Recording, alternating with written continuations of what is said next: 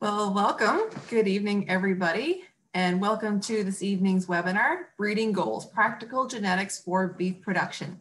I'm Ellen Crane, the Extension Coordinator for the Beef Cattle Research Council, and I will be your moderator for tonight. This session will last for approximately one hour, but may go longer depending on the number of questions you have for us later on during the question and answer period. If you're on Twitter, tweet along with us using the hashtag BeefWebinar. We are recording this session and I will email out the link to the recording to everyone that registered in a couple of days. So if you miss anything tonight or you want to watch it again later, you can do that. Of course, you'll be able to hear and see tonight's presenters, but we can't hear or see you. If you want to communicate with us, type into the, the Q&A section or the chat window, which will be located at the top or the bottom of your screen. And we'll answer all of your questions at the end of the hour if your internet connection is a bit slow, it might help if you close the box here that shows the video, which means that you can't see us, but hopefully the audio will come through a bit more clear for you. So with that, let's get rolling. So this is what we will be covering tonight. You will hear from two presenters that will be speaking about practical genetics for beef production and how to implement those on your operation before I hand things over to our first speaker, I wanted to take a moment to uh, over, go overview of uh, some resources that we have available on beefresearch.ca. Uh, we have recently published a set of resources developed to assist you with record keeping. And one of those topics that's covered in the record keeping modules is genetics. Uh, and it's available through different levels. So whether you're just starting out, uh, trying to do a bit, job, bit better job of uh, selecting or doing more work with your genetics or whether you're a little bit more advanced. Um, these levels have cut through some of the extra information and kind of focus on the information that you really need to know um, when it comes to, to some uh, genetic or record keeping. Um, and those are all free to use um, and they're available on beefresearch.ca under the resources tab and under record keeping. Um, and you'll see infographics like this one. Um, we'll be talking about um, the sum. This here is showing a summary of crossbreeding systems, um, talking about different breed crossings, um, your rotation of your breeds, number of breeds, etc. But I'll let these guys get into this a bit later. They're the experts on this. But with that, I will hand things over to our first speaker. Our first speaker is Sean McGrath. He is a fifth generation rancher who, together with his wife Tanya and their family, manage a 112 year old operation, breeding roughly 300 females each year and custom grazing another 200 pairs in the summertime. The ranch markets purebred and commercial cattle, as well as grass finished beef, and is structured around grazing. In 2014, the ranch was awarded was awarded the provincial and national TESA award. Sean also provides consulting services to the beef industry, primarily focusing on livestock genetics and ranch and range management. Sean writes for several beef industry publications and through his company markets electric fencing supplies, forage seed, and range monitoring, education, and tools. Tonight, Sean will be speaking about breeding goals. Are you shooting at the right net? So with that, I will hand it over to you, Sean.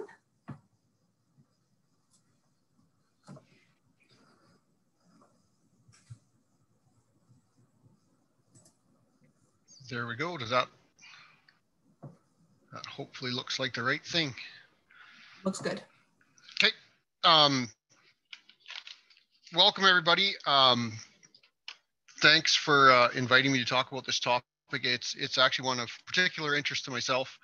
Um, just because I really get a kick out of trying to match cattle to the system rather than adapting the system to the cattle. Um, so I think a legitimate question when we're when we're going down this road of breeding cattle is just are we shooting at the right net? Um, for most of us in the commercial industry, I mean, when we're buying new genetics or changing genetics, it typically resu- results or is is the result of, of bull purchases. Um, you know, if we're a herd that's retaining our own replacement females, you know, roughly 95 plus percent of our new genetics will come through through sire purchases. And so I've actually got a picture. This is our AI outfit where we AI in the summertime. Um, and it's just to, to put it in context of what we're actually buying when we're buying bulls or buying genetics is, is we're actually buying DNA that's going to go into our cow herd and produce something that hopefully fits our environment. Um, and so when I think about buying a bull, a bull is, you know, a bull is just an automated delivery system for the DNA that we're buying. So um, in the case of the picture, my left arm is the automated delivery system. Um, you know, so we really need to focus on the DNA that those that those sires contain.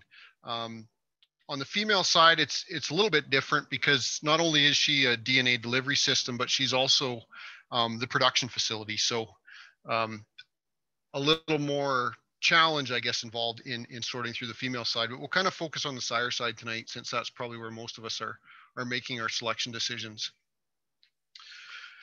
One of the problems with beef cows is that it takes a long time to breed a herd of beef cows. Um, you know, and, and, when we start thinking, we've got to be thinking really long term. So when I think of a short term priority in terms of sire selection, um, that would be I'm going to buy a bull to breed my replacement heifers. I don't want to help heifers calve next spring. Calving ease is a short term type priority. Um, in the longer term, you know, it's 2021. Um, thankfully, 2020, 2020 is over. It's 2021 um, if we buy a bull this year and made our cows, those calves aren't born until 22. They're not weaned until the fall of 22. If we're keeping replacement heifers, they're not bred until 23. They're not going to calve until 2024. It doesn't take long until we're four and five years down down the track of what what we're trying to plan. So um, it's an important question to think about. How are we going to be producing or marketing cattle in five or 10 years? That should really be part of your decision on the, on the genetics you're sourcing today. Um, this is actually one of my favorite pieces of extension work done by uh, Melton in 95. Um, and basically he splits beef production into reproduction. So getting females bred, um, having calves staying in the cow herd production, which is basically growth and then product would be carcass.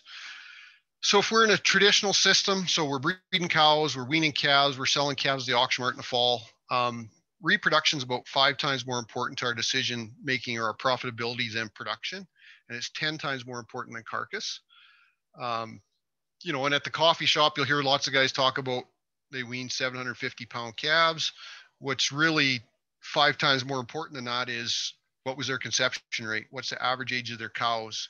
Um, what's their culling rate? So um, if you're participating in a value chain, so that would be, you know, you're keeping ownership on your calves and, and selling them on a, on a grid well then reproduction is twice as important as growth but when you're looking at genetics um, growth and carcass become equally important.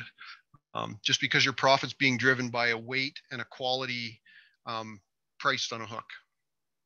You know and if we move to an integrated system and there may be some of you on this call um, that would be i own a cow herd and i own a grocery store or a meat shop um, all of a sudden carcass becomes a lot more important than reproduction or production. So again, we'll, we'll be picking genetics that, that may be very different and, and in most cases should be very different than our neighbors. Um, so that's just a question to keep in the back of your mind. Um, how am I going to be producing and marketing these cattle in five or 10 years down the road? If we think about um, genetic potential and the environment we live in, um, you know this this slide gets a little busy maybe but if, if we think about if we're if we have a lot of feed availability um, all the way through to low feed availability uh, and then think about the relative stress level on our cattle we can see that you know if you've got a lot of feed available and you've got a low stress situation so you're you know you're going out with a silage wagon and feeding your cows um, you can actually stand fairly high milk production so you know sort of the extreme example would be a holstein um, in a dairy barn.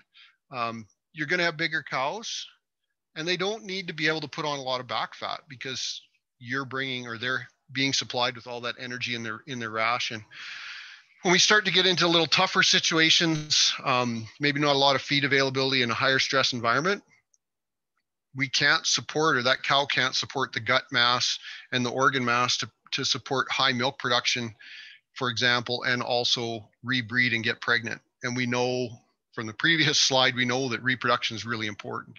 Um, you know, cows in stressful situations, we want little fat cows.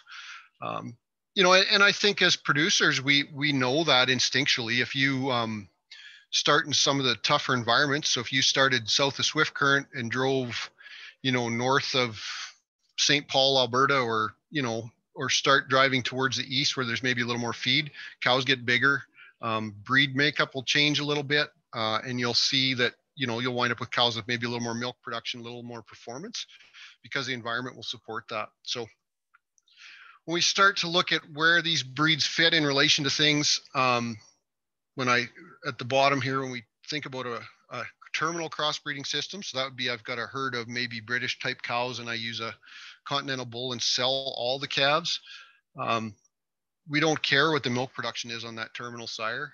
Uh, you know, we want size, we want growth, and we want calving ease. Um, those calves come out alive. We just want them to grow and, and have some carcass. So um, again, we'll we'll be selecting a, a significantly different uh, maybe profile in terms of what we're trying to accomplish. So, you know, one of the things to be aware of is just, and we're, we're often not good at it, is is what's our environment. So, um, this picture is actually a picture of our cows here a couple weeks ago. It was about 50 below. Um, they're still on grass till hopefully next week. Um, you know, in our environment, um, just personally speaking, our cows can't support a lot of milk production because I'm not going to provide that feed availability. So one of the things we often lose sight of is this whole thing of heterosis. And Ellen had a good slide at the start. Um, basically, it's kind of here again. If we take a crossbred, the advantage of a crossbred calf, um, we're going to see a higher survival rate. We're going to see a higher calving rate on those calves. Um, we will see a little increase in birth weight on those cattle, um, but we'll also see you know, the work done at USDA Meat Animal Research shows 16 pounds of calf advantage to those crossbred calves over a straightbred calf. Um, if you add that together with the increase in calving rate and the increase in survival, that's significant. Um, where it becomes even more advantageous um, is when we think about on the cow side and, and maternal heterosis. Um, again, I mean, we can see the advantages, but if we look at the advantage of a crossbred over over a commercial over a straight bred cow, um, it basically equates to adding one calf in her lifetime or having an extra calf per lifetime out of those crossbred cows. Um, so I think that's something we often overlook when we're trying to, when we're trying to trying to do this genetic thing on, ranch. Um, and I think it's a really important thing to remember is just you know not every cow works out every time um, but that crossbred cow works out a lot better on average than, than, the, than a straight bred cow. Um, and again, so that kind of gets us into these breeding systems. And, and one of the issues we always hear about or talk about with crossbred cows is, is maybe some inconsistencies. And there's some things we can do to, to tackle that situation and keep from bouncing from one extreme to another. Um, you know, and and I don't know on the call, I don't know what size your cow herd is. Um, but I think this is a real question we need to ask ourselves is do I have enough cows to do some of these breeding systems? And if not, is there a better source or a better way for me to do this? So can I focus on being a strictly maternal herd and selling replacement females to others? Or am I better to buy maternal cows and focus on just buying terminal bulls and, and, and marketing all of those calves?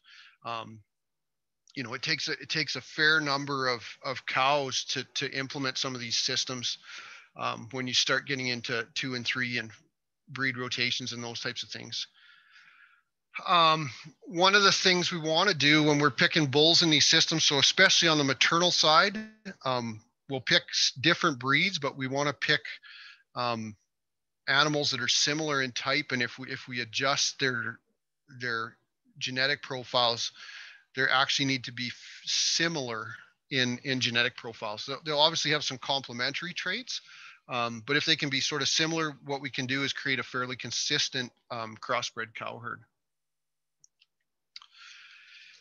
you know, one of the questions I, I get a lot um, is, you know, what what bull should I use or what's my results going to be? Um, you know, and I, I always like to think that the simplest advice is if you know the bulls you've bought in the past, Um, and if obviously if they've been registered or papered, um, go look them up on the Breed Association website. So if I had owned a, a Hereford bull, Mr. Hereford, um, I could go on the Hereford website and look him up and see what his numbers are. Um, I could go on the Angus site and look up my Mr. Angus bull. Um, if those bulls have worked really, really well for you, um, go up and go look them up, have a look at their numbers. Um, you know, more bulls like that probably aren't going to hurt you.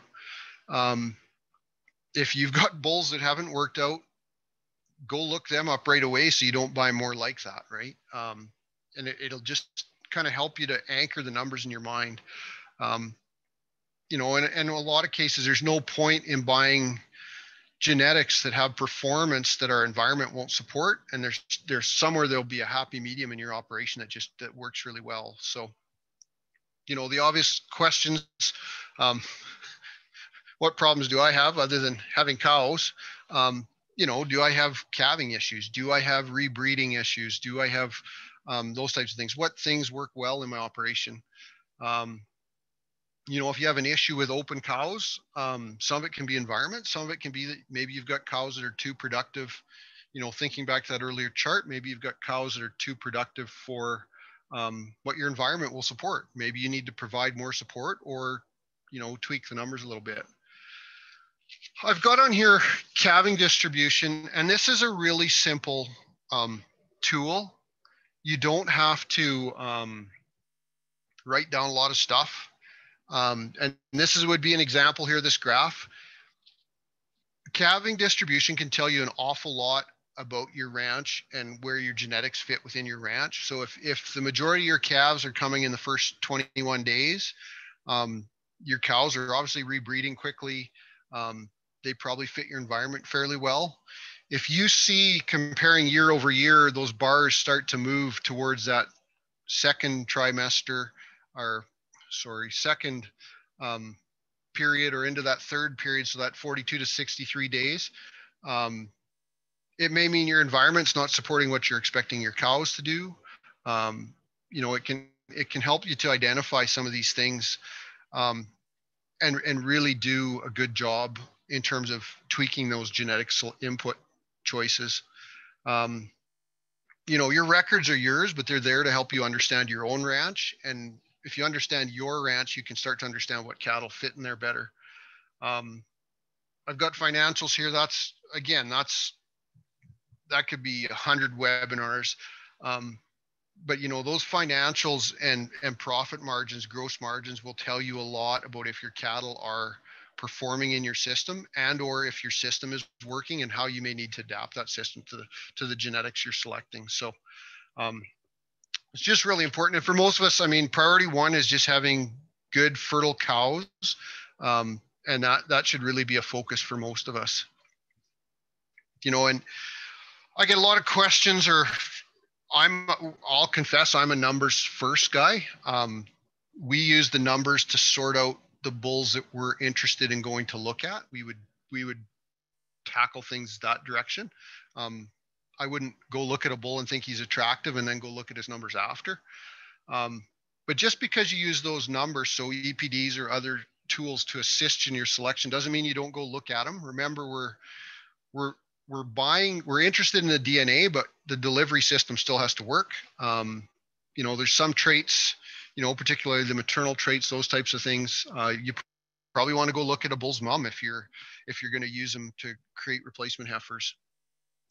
Um, the other thing is that the biggest number is not always best. Um, you know, and we've seen there's some research in the U.S. that shows weaning weights haven't increased in 10 years, but feedlot and carcass weights have increased. You know, a lot of ranches just can't support that extra extra performance. So, um, you know, I think the numbers are important. It's important to look at the EPDs and those types of numbers to help us select, but biggest isn't always best. And it doesn't mean we're not concerned about phenotype and, and how that bull looks and moves and that he passes a semen test and those types of things. So the EPD numbers just help us compare certain traits between the choices we've got. So I think the question to take home is probably what what's your plan? Um, you know, what does your farm look like? Uh, yeah, how much tame grass or native grass or how much cropland do you have. Um, our cow herd looks like our cow herd because we're about 85% native rangeland. Um, we have very minimal cropland resources. Um, you know, what's what are your feed sources? If you've got the feed sources to support performance, well, then you can push performance a little more. Um, some of you are calving now. Some of you will calve later. What's your labor situation look like? Um, obviously, if you've got more labor around, you, you can do some different things with those cows than maybe somebody that's got a little less labor availability.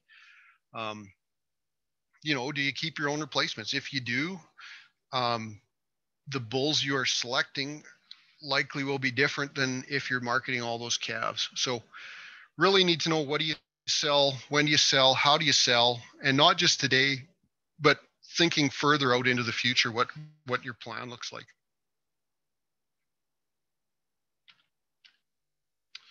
So I, I came up with our short list and I'm, I'm sure the next presenter is really going to like the pictures on this slide. Um, I, I do think the most important thing in your genetic selection needs to be the breeder that you're buying from um, in terms of integrity in their program, um, how they work with bull development uh, and what's their philosophy. And obviously what's their breed and does that breed fit your goals? Um, we use epds heavily here. Um, i don't have labor. We look at a lot of calving ease uh, we look for smaller mature size. Uh, we actually are selecting for below average milk just because of our environment and how we run cows. Um, we spend a fair bit of investment on carcass merit um, and some other traits. We look at longevity, heifer pregnancy. Um, we're starting to look at dry matter intakes and feed intakes. And then because we retain ownership on our calves, we look at that spread between weaning and yearling weight just to make sure those calves will grow. Um, we rely pretty heavily on ultrasound to look at some of these carcass traits. Um, we have done a ton of DNA work. We uh, parentage every bull that walks onto the place. Um, you know, and then we're concerned about phenotype after that. And then price obviously comes into the equation at some point. So, um, you know, and again, that's a, that's another discussion where your price point is, but it helps if you have a plan, you can come up with an objective price point on those cattle. So, you know, gen- genetic selection really is about putting DNA into production. So you're buying DNA and you're selling performance. And and really it's what performance fits your ranch and what performance your ranch can support. So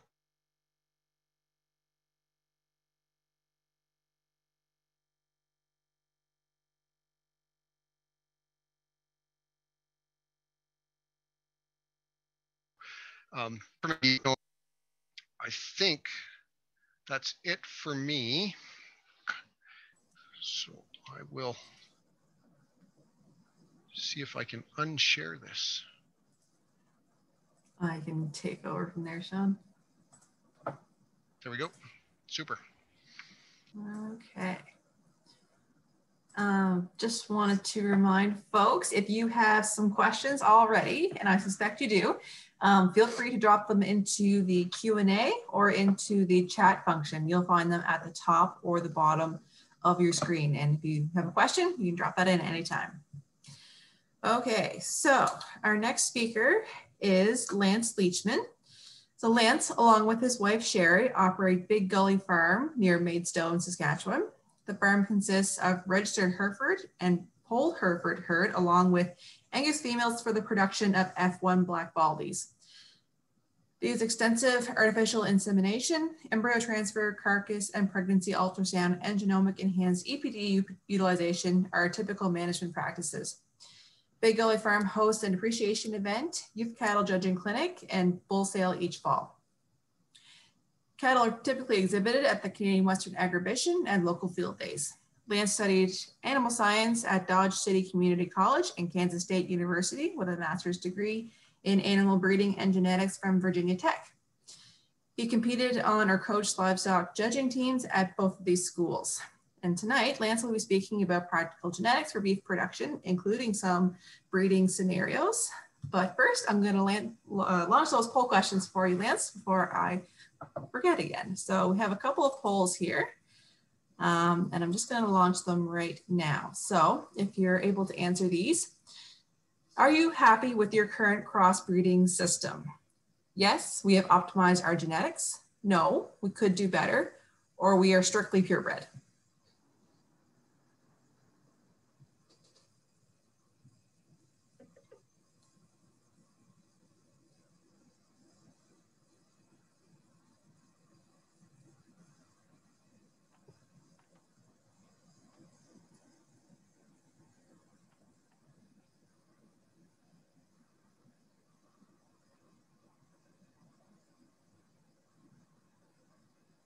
Okay, it's starting to slow down here a little bit. I'll just give you a couple more seconds.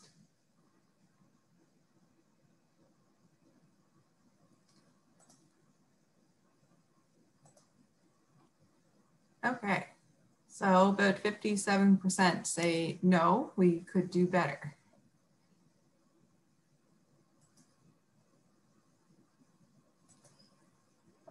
Mm -hmm. Not that one. my second question here. There we go. Okay, and your second question is, in your opinion, who should be responsible for making breeding, breeding decisions based on the available data? Should that be the seedstock breeder, yourself, the breed associations, or another, in your opinion?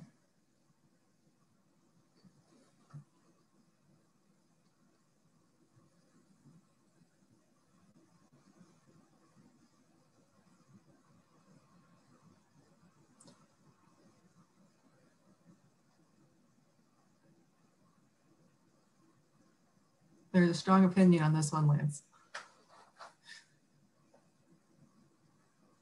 Okay. You're starting to slow down here. Let's give you a couple more seconds.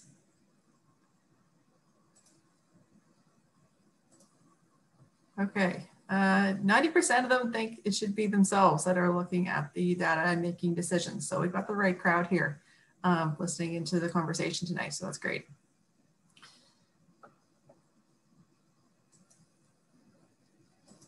Okay, I will hand it over to you, Lance. Hey, first of all, I just want to thank Ellen for inviting Sean and I to be part of this and thank everyone for joining us this evening. Hopefully it's of benefit to you.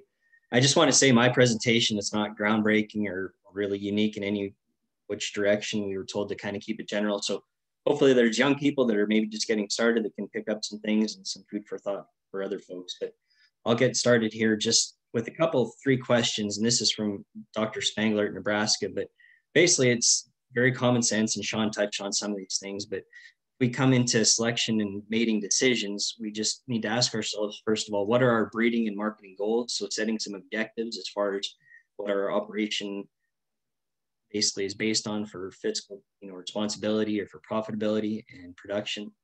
And that's very diverse. And that's the beauty of the beef industry. And sometimes the challenge is that everybody has strong opinions and sometimes it seems like they get stronger more variable all the time but we have to just think about ourselves and what works best for us. And so then you go to the next questions what traits directly impact profitability?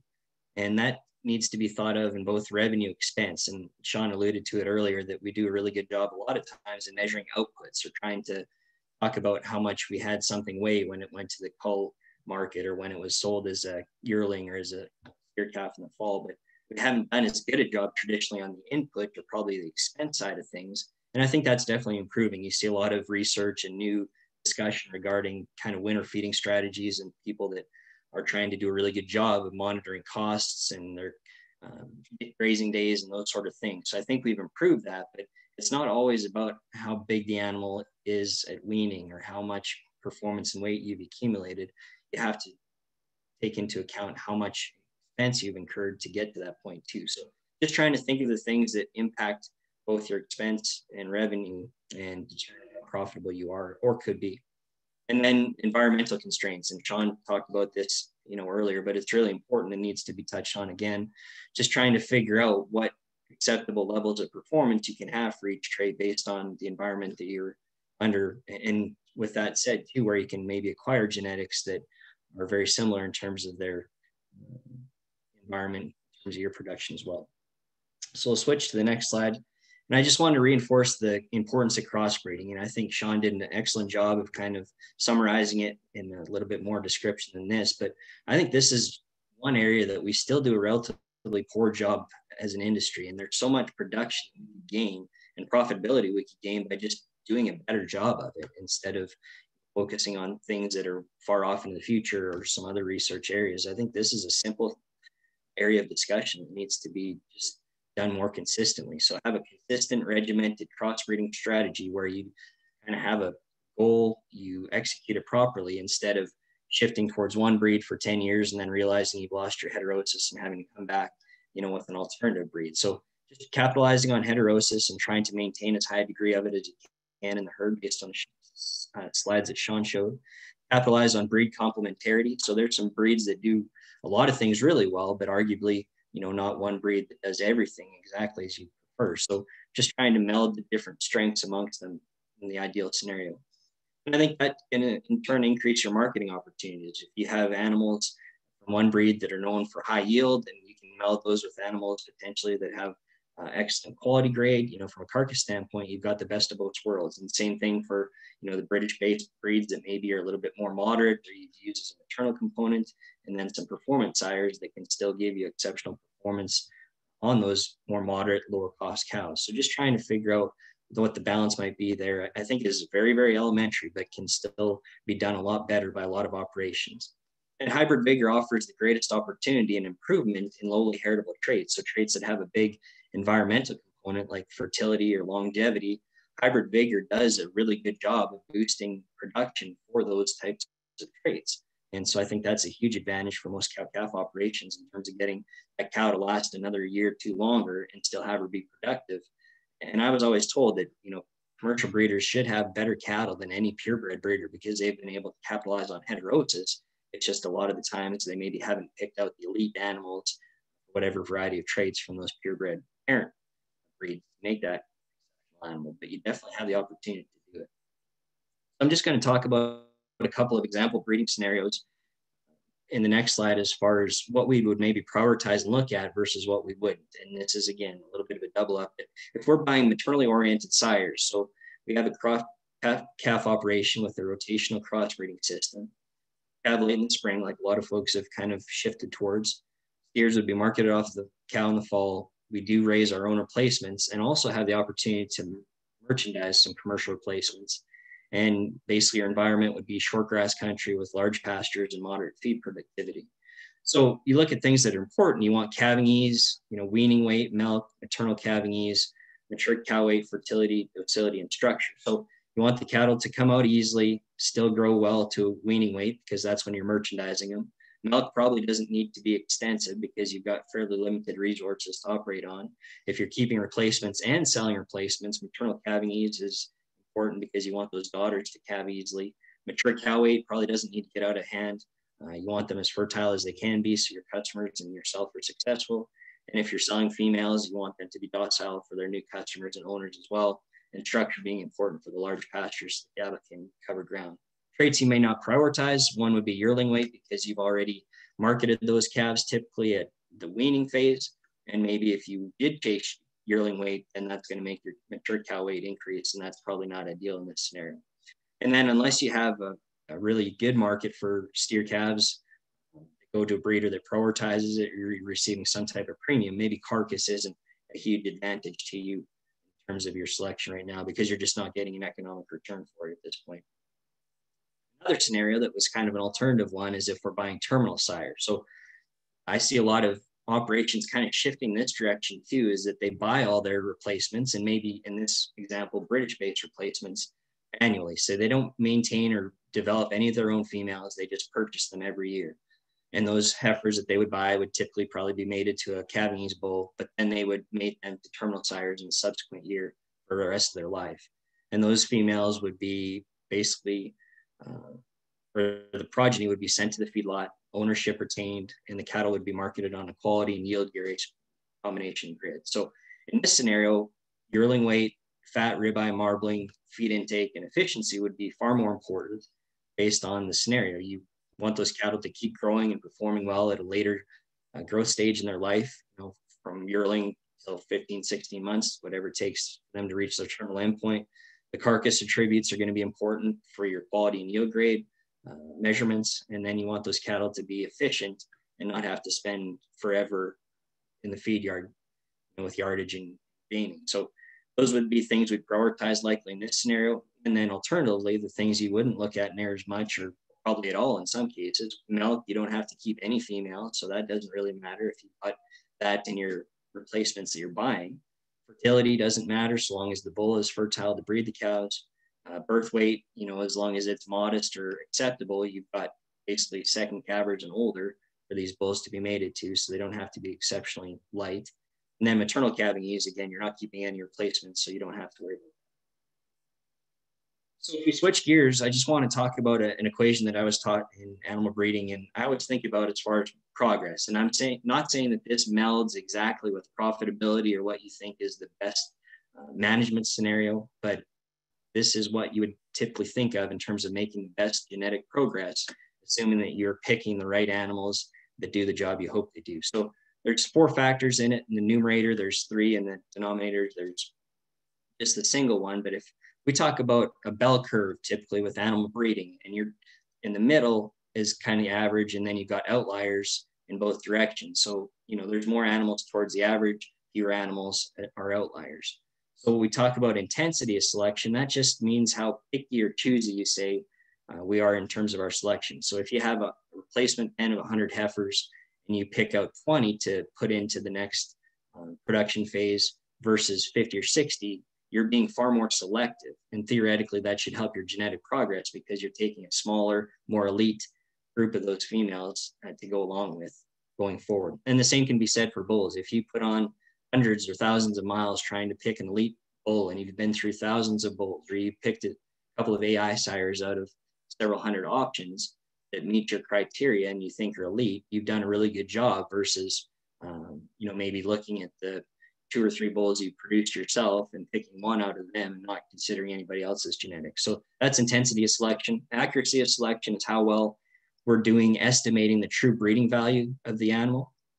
And so for that instance, if you think about an AI sire that has thousands of progeny with record records, we've done a really good job of trying to see what he's done as far as his progeny and where he's kind of proofed himself out at for a variety of traits. So we're highly confident that what he offers is going to actually show up in our progeny based on genetics that we've used. That's compared to a young virgin bull that has no progeny that we just don't have near as much information and confidence in. So he'd be a low accuracy sire. And we'll talk about genomics a little bit later on, but that's where we want to bridge the gap is with genomics and try and increase that accuracy in younger animals versus having to take used several years and thousands of females to proof them to a high degree to be very, very comfortable in using them. Variation is one we don't talk about a whole bunch, but basically that just means in, in a population, if you have more variability, there's more directions or avenues you can use for selection. And that can be helpful and, and a hindrance too. If you have a highly inbred population, there's going to be less heterogeneity, but that's going to be very consistent problem there is if you get into a challenge or you're not doing the right thing or your cattle don't meet the market circumstances or environment, you don't have many options to change direction. So that's where variability helps. And then on the bottom generation interval, so that's the average age of the individuals within your herd or population. And so as beef cattle, we have such a, a low prolificacy rate and a long gestation interval compared to chickens or hogs or some other species so trying to shorten our generation interval or maintain a youthful cow herd that replaces itself and replenishes itself fairly regularly uh, is important in terms of genetic progress. And that's going to be counterintuitive or maybe not in agreement with a lot of folks as far as how they want to maintain cows for later uh, you know stages in their life or have more longevity or avoid replacement heifer uh, production costs but that is one factor that plays into genetic progress excuse me, we'll switch to the next slide. So there's lots of information available for producers. You can look at visual appraisal, which is you know, structure, frame, body dimension, color, balance, the composition or the condition the animals are in. And then there's also phenotypes, and a lot of that kind of crosses over. So we can talk about birth weights, yearling weights, scrotal, carcass, udder quality, docility, You know, Angus has the hoof and claw scores now. So there's some that we can measure really well as the dairy industry has done such an exceptional job of uh, with structure components. That part is increasing to. And then pedigree, we have relationships amongst all the animals. We know basically who has common relatives. We have EPDs that are available, all the major breed associations, and, and even some crossbreed ways to figure those out. And now we've got genomic enhanced profiles for EPDs, just genomic profiles that we've been able to meld together with the EPDs provide us more information. And typically, if you look through sale catalog, you'll see some designation. This is an American Hereford's EPD symbol that you can reference. Back to progeny differences, just to go over those briefly when we talk about the phenotype that an animal possesses uh, or the measurement that we can take on them, so weaning weight, whatever the case might be, that's a combination of the genotypes, so their genetics plus the environment's impact on those genetics, whether it's allowed them to reach their full potential or maybe it's been a constraining environment that's prevented them from reaching reaching their maximum weight or performance level or whatever that case might be. That's what a phenotype consists of. We talk about a contemporary group that's simply a cohort of animals that experience the same uh, or an equal environment. So they've been given the same opportunity to perform, been in the same pasture, maybe uh, excluded from feed, maybe weaned at the same day of the year, and then put on the same diet subsequently. So we're just trying to manage everything in a similar manner so that their genetic differences uh, really are responsible for any physical differences between the animals.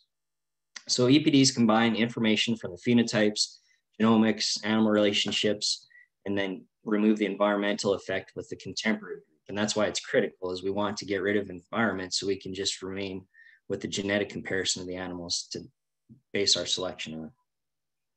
So there's a lot of folks that, that don't like EPDs or don't think that they are uh, trustworthy. And, you know, I guess I'm not one of them. I think they're a great tool and an effective tool, but there are things that impact how useful they are in the next slide here, we'll talk about what's important to make them work well. So one is just pedigree connections. If you have a herd that has no records and has been basically a closed herd with no introduced genetics, it's very, very difficult to fairly compare that type of a herd against the bigger population or the rest of the breed because we just don't have any way to effectively uh, make connections between them.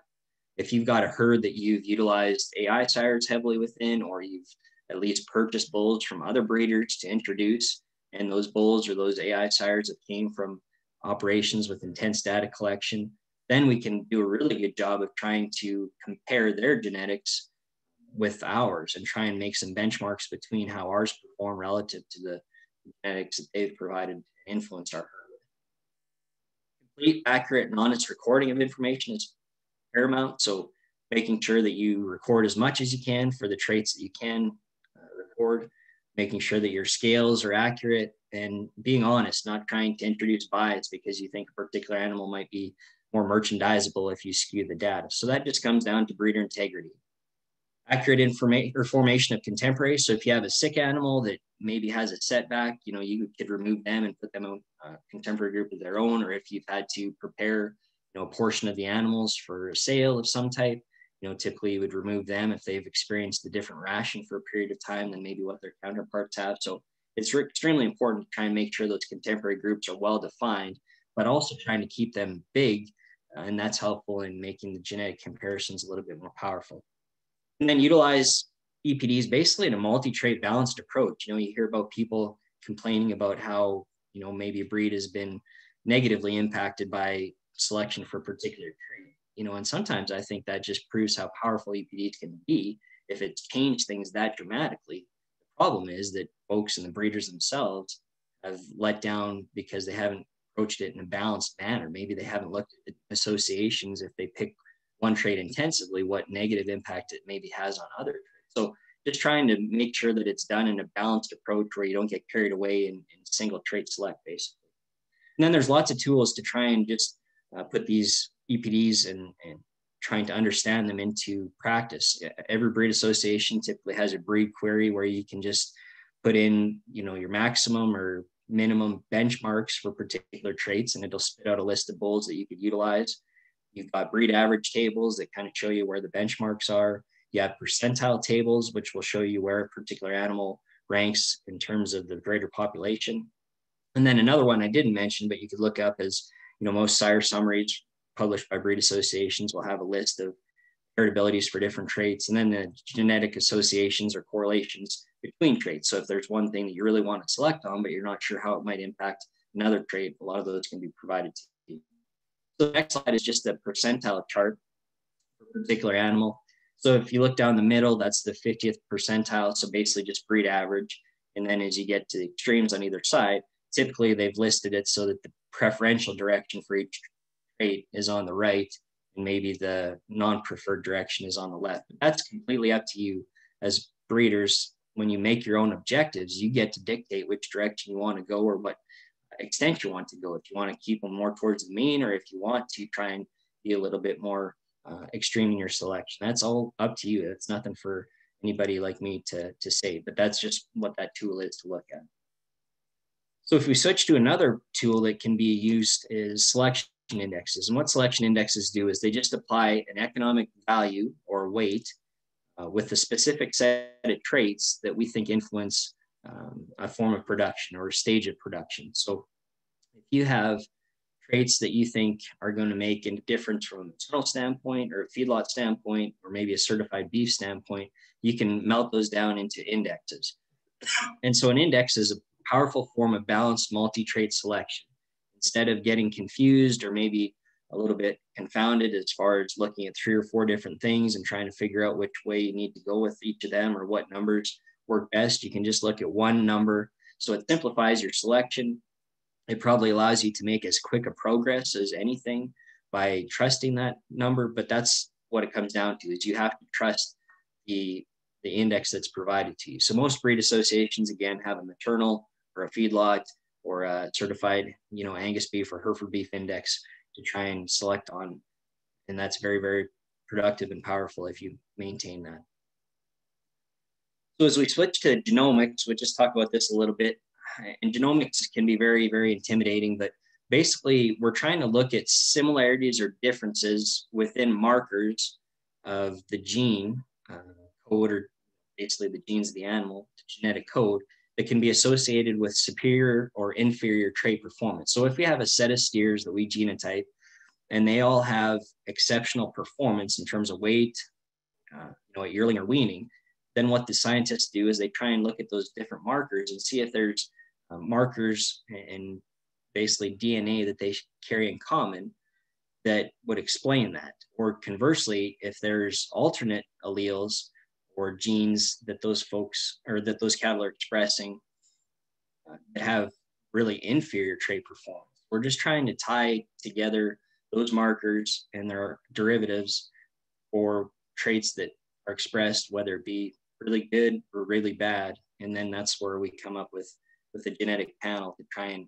look at cross those markers and come up with a cumulative impact for particular traits. So a lot of these traits are impacted by a huge number of genes, and we might have a limited number of markers uh, that are associated with, you know, a few of those genes or a moderate degree of those genes, but we probably don't have every gene uh, mapped that is going to affect a specific trait.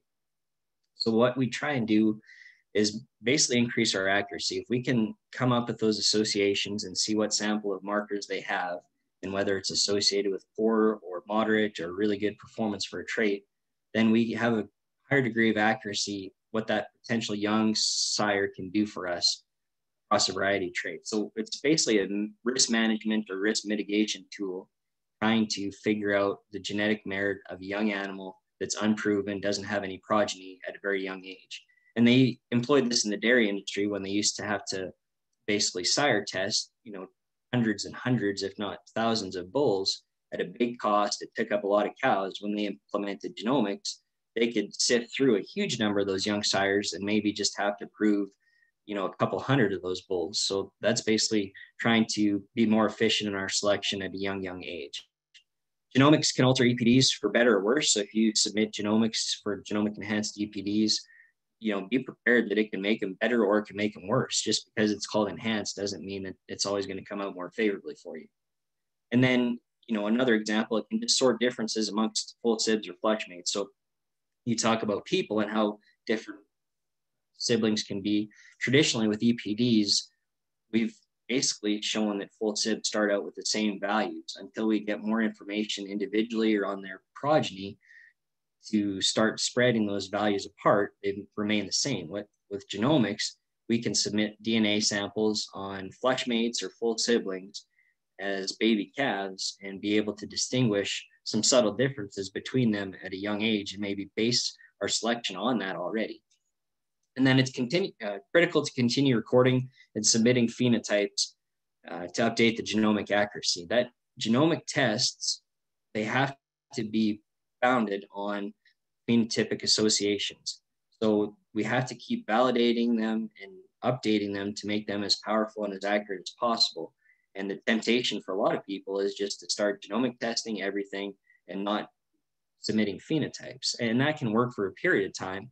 But as we evolve and the genetics evolve, we need to keep updating those. So I think it's extremely critical to keep recording as many phenotypes as possible. so if we switch to the next slide, this is one I find really interesting and, and hopefully you folks do too, but it's just talking about the disproportionate inheritance from our grandparents. So uh, traditionally, we think of a pedigree as being uh, 25% from our grandparents and then 50% or half of our genes from each of our parents. And it's certainly true that we get 50% of our genes from each parent.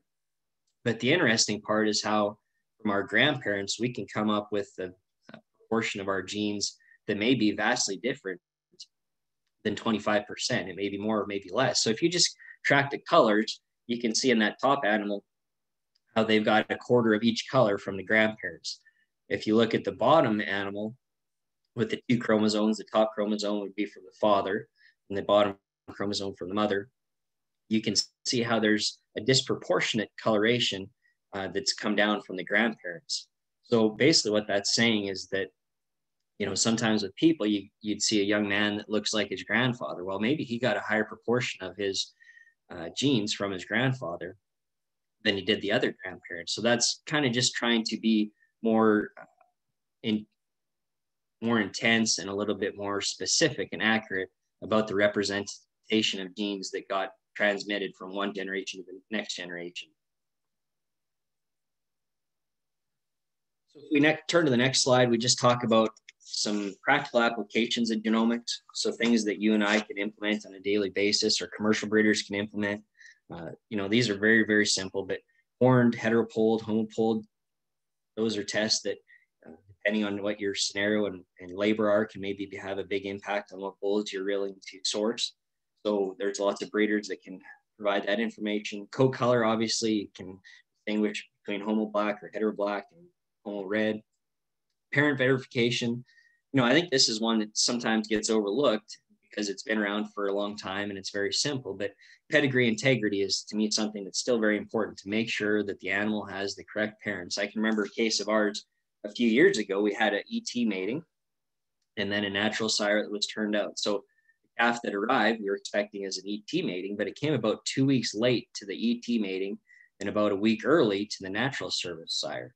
And the calf was actually really light off of a recip that was known to have a lot of birth weight. So, you know, we kind of assumed that it was the the natural service sire as it maybe was a little bit early, came at a light weight. Uh, that's how we recorded it. Sent off DNA because they had to be DNA'd as ET offspring, and it came back as actually the ET mating. So just little things like that, where everything would suggest the alternative, but genetics told us that actually, surprisingly, it was uh, the first case.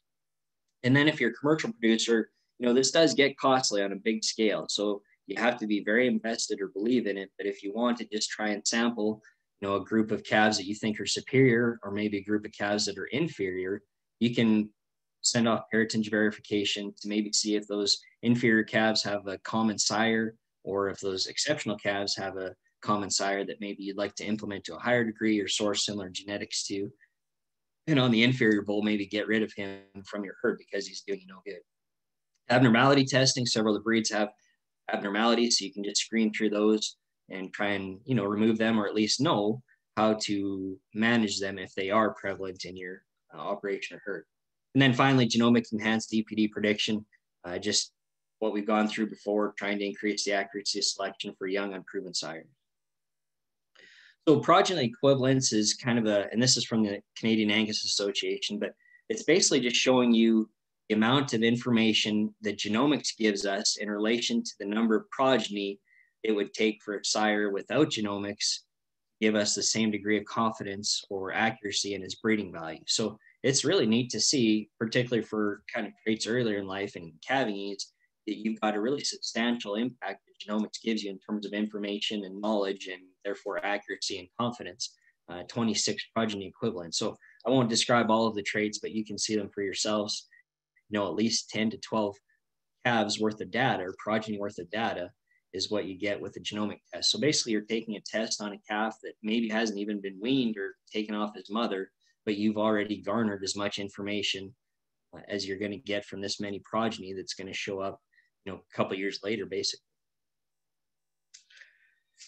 So then, following slide again is from Angus Association. Uh, on the x-axis or the horizontal axis is the number of progeny, and then on the vertical axis is basically the gains in accuracy or the percent accuracy increases. So it just shows you that genomics in the kind of the orange color, uh, when that's when there's limited progeny, genomics gives you all of the information. But as you start to gain more and more progeny, you know your your current EPD or your traditional EPD takes over in terms of accuracy because what the traditional EPD does, it measures the phenotype and that's the cumulative effect of all the genes that impact that particular trait. We talked about earlier how with the genomics, we can quantify several of the markers within genes that might affect a particular trait, but we probably don't know all of them or all the genes that impact a trait. Whereas in EPD, we don't know them, but we know the cumulative impact they've given us. And so we do a better job with actually traditional EPDs. Genomics, probably the importance of the genomics dissipates over uh, over time as we increase the number of progeny.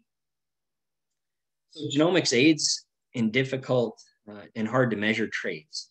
And that's something that is really unique.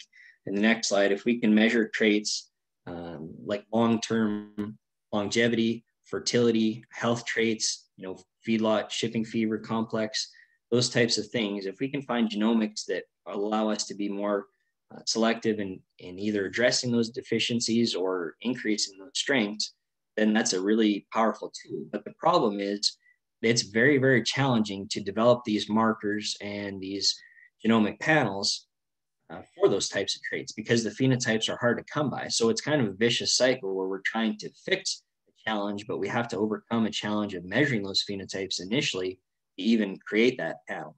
Uh, there are people that are researching and doing that and trying their best uh, to help the rest of the industry by putting those types of studies together. And then this is just another reinforcement of continuing to report phenotypes is extremely important.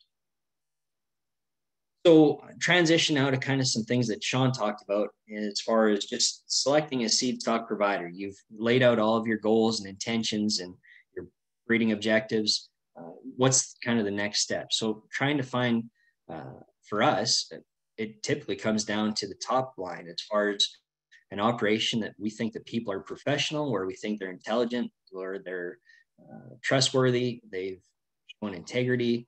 You know, a lot of times that's what it comes down to us. There's a lot of cattle that we will bypass uh, because we don't think some of those factors are in play.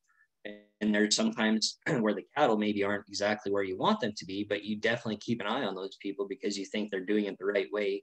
You're excited to see where they can progress so another point would be to just consider a similar breeding philosophy or environment. And Sean alluded to that as well. If you can find animals that are very closely or similarly already adapted to your environment, I think that's going to alleviate a lot of concerns or just that they share a lot of the same uh, thoughts on production or management or labor availability or feed resources. If you have animals that have already been bred towards those goals, it should minimize some of the effort on your part or at least meld better with your goals and intentions customer service do you feel like you are uh, just a number and the bull gets dropped off and you don't hear much more from the folks? Or do you feel like they've done their very best to try and learn about you and what can make you successful and maintain a strong relationship and follow up?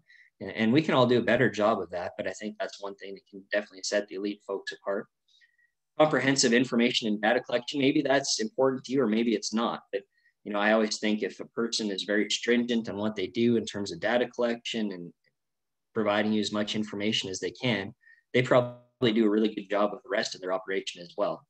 And then just the simple things, looking at the superior cow herd, uh, the structural integrity of the cattle, the maternal strength, you know, the things that sometimes folks who label uh, numbers gurus as bypassing, where in fact, you know, those are things that everybody should do. It's just that sometimes with more information, you want to take your selection to another level.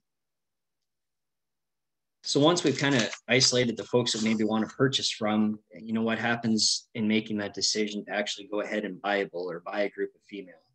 So you have your defined expectations and your goals in mind. Just go ahead and research the animals in terms of their information. So pictures, videos. Uh, if you can visit the breeder and see his entire cow herd, that'll give you a great idea of, of what their uh, depth of the cow herd looks like. I mean, sometimes you can see some elite animals, but maybe the rest of the herd is not all that special. Uh, and sometimes it maybe is really, really refreshing to see how many great options there are, or how many bulls that maybe would suit your purposes that you hadn't initially isolated. So look at the sires, dams, the progeny, the sibs, uh, you know, all the information the breeder can give you, the queries from the breed associations, all the information that's out there and really make, you know, some informed and, and neat decisions for you. And then select the options that might suit you for intended purposes relative to your budget. If you have 10 or 12 bulls that might suit you, you know, that's going to hopefully allow you to get one bought, maybe if the others can't suit your budget. And there's a lot of folks that don't like going to sales because they think the average is too high, but that's always the fun for us is to try and go to a sale where, yeah, sure, they sell great, but, you know, usually every year, every couple years, you can find a bull that fits within your price range that you can be ecstatic about uh, his physical features or his breeding attributes uh, without having to compromise on where you got him or, or what kind of quality it was. So I think always keep that in mind. That's part of the fun of it. Feel free to provide feedback to the breeder. So if you think they did an excellent job on developing the bulls or you're really not happy and thought maybe this year they pushed them a little bit too hard or if you're not really on board with kind of the new purchases that they're putting into their herd from a genetic standpoint i think it's feel free to provide that input because I think a lot of those breeders want to hear that. And sometimes a, a silent clientele, or if they haven't solicited some opinions, you know, it's it's kind of frustrating to not get some of that information back. So I think uh, an interactive and very high degree of communication a lot of times is going to make a better relationship and make everybody happier. And then if you have any concerns, just make sure that they know about it instead of trying to tell other folks or to you know, be negative or critical. You know, sometimes those things can be resolved very easily and favorably if you just make it apparent to them. So those are just a couple considerations. Again, nothing groundbreaking, but just things to think of when you talk to or source animals from a provider. And then versatile genetics. I don't know if that's the right word, but you know, sometimes it comes down to just trying to put as much good into the animals that you're selecting or breeding as what you can. So if you can seed stock provider create animals that are going to work for the commercial cowman in terms of calving ease and growth and fertility and longevity, but also have the ability to be efficient, have some end product merit, uh, and then just ultimately go to the consumer in terms of retail purchases and provide them a quality eating experience. That's what it's all about. So just trying to not limit yourself as far as your portion of the production chain, but thinking that long term there are other areas and, and genetic components that you fix the cattle to provide more profitability to you, but also to the next segments of the industry. So for each segment of production, to try and keep in mind their importance.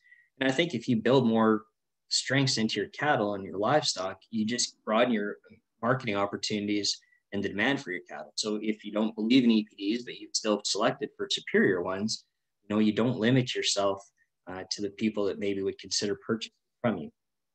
And then I think as we try and differentiate and distinguish ourselves in terms of our qualities, you know, there's some value added opportunities that are starting to become more prevalent. So if you sell steers online or if you sell direct or you have, uh, you know, incorporated some of the sustainability practices and protocols, you're trying to build more value by doing a more exceptional job. And hopefully that gets rewarded at some point. So in summation, I just want to say I think it's more challenging uh, to do these things, and it's definitely going to take a smaller number of animals or a lower proportion of the population to meet very stringent requirements. But I think that's part of the fun of it. So it's very challenging to find those animals that do a lot of things really well.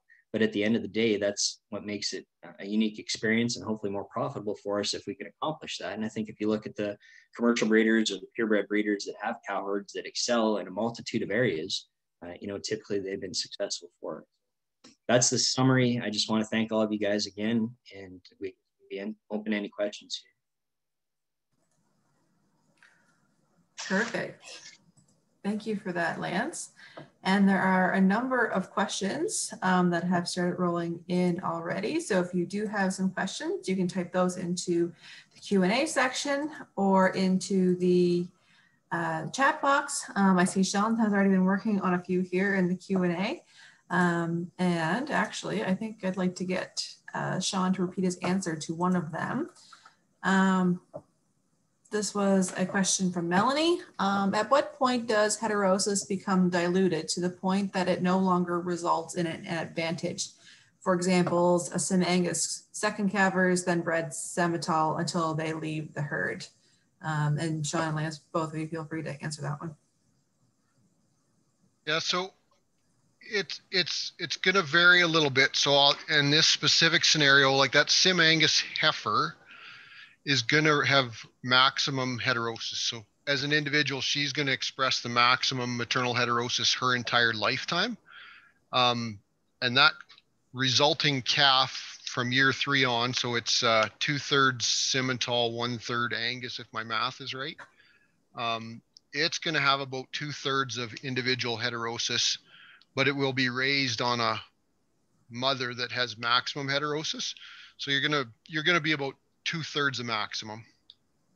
Is, kind of kind of what the math would be. Okay, uh, we have a question here from Fred. Some seed stock producers do feed tests on their bulls and sometimes can provide feed efficiency or RFI. How valuable is the growth and efficiency data from feed trials? Can this information be replaced by EPDs or GEPDs? That might be a question for Lance, maybe. Yeah, so there's you know, I guess in our breed, I know there's a handful, well, basically three or four folks, and then, you know, some of the colleges and universities that have residual feed intake um, collection facilities. So, you know, you could look at the individual data itself by those breeders, and we do have an EPD in our breed uh, for residual feed intake, but it would be primarily based on the phenotypes from that limited number of uh, breeders. So, you know, I, that's a challenging one. It's one of those traits for us as a breed and probably for several breeds where it just hasn't been broadly um, accepted as far as reporting phenotypes for that. So, you know, I think that's probably one of the one of the traits where you'd probably be best to look at both and, and definitely kind of go through um, those individual herds. And I think one thing you could look at is just to see where those bulls might index in those individual herds uh, that are really intensely doing it.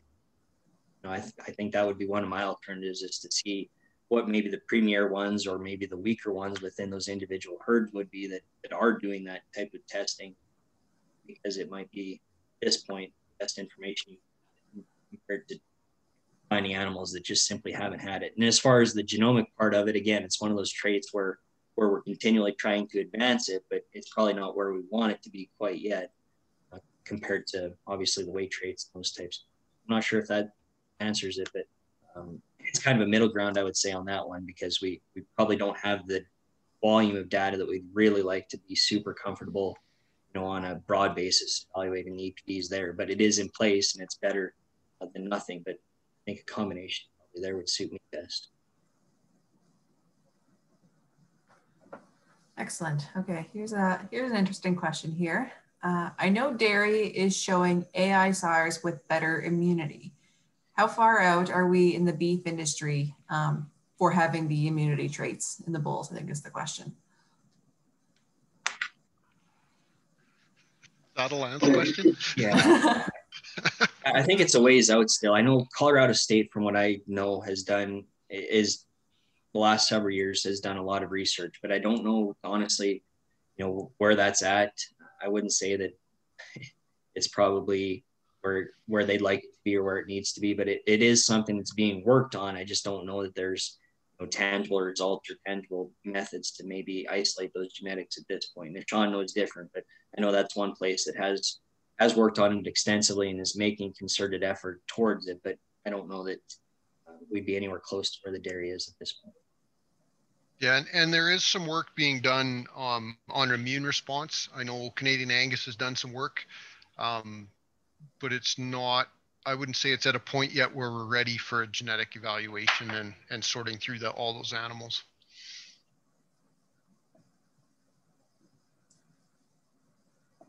Okay, there was another question here that you had answered, Sean. Um, do you find EPDs are an accurate enough indication in a crossbred operation, or is a more in-depth DNA test needed for commercial animals? Yeah, so if if you're a commercial operation that's sourcing seed stock, so I'll, I'll use the term loosely, purebred or or identified seed stock, um, EPDs are by far the best tool available.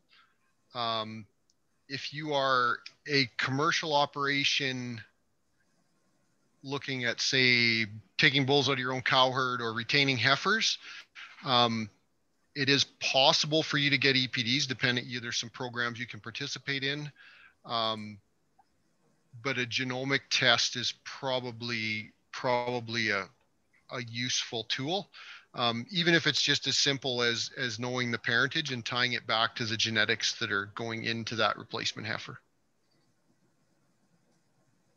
Okay, well, I think this will be our last question here. Um, in your opinion on F1 or hybrid bulls, if you are breeding commercial cows that are crossbred themselves, um, so I guess, is it a good idea?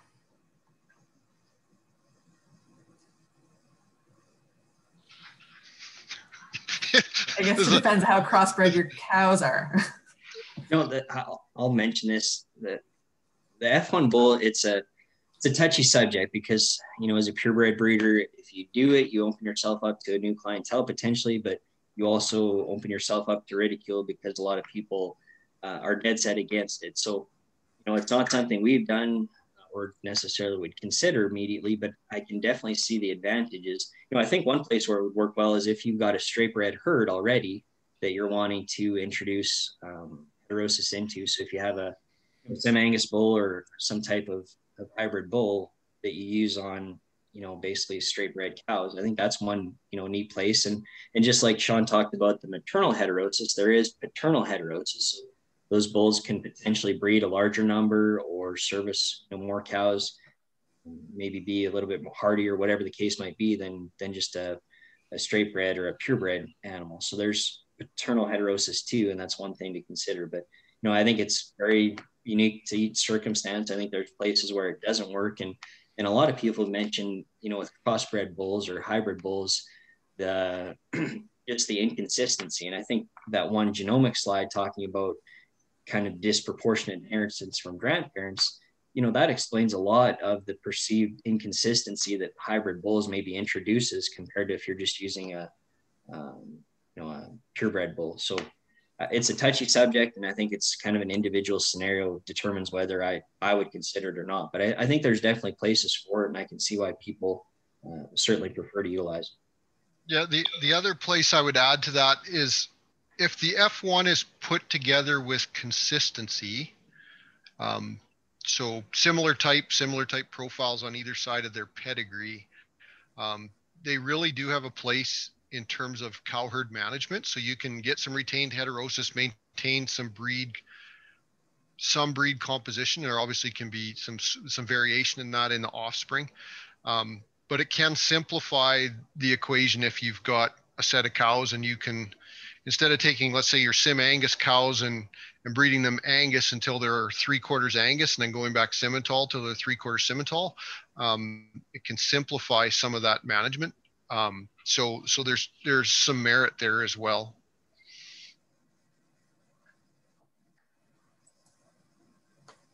Excellent. Well, thank you, Lance and Sean. Uh, there's just a couple more important things to let you know about before we go. One is to is how to get more information and science-based production advice through the BCRC. Go to our website, beefresearch.ca, and click on the subscribe button to sign up for our free email list.